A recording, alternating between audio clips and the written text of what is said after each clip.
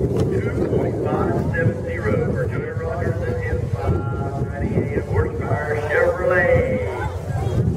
Now, Bradley, wherever you do, don't jump around. What? Yeah, but I went downsize mine. Oh, if you lose your straw, I got